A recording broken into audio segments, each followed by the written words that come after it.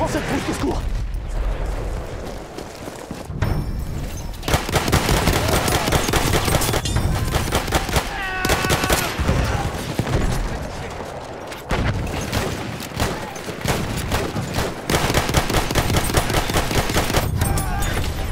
Une trousse de secours pour toi.